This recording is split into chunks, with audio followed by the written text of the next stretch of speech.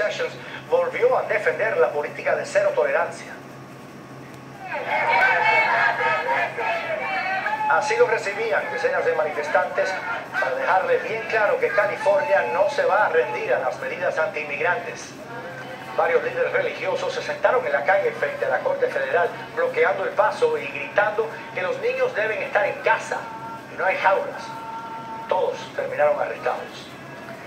Millones de personas han expresado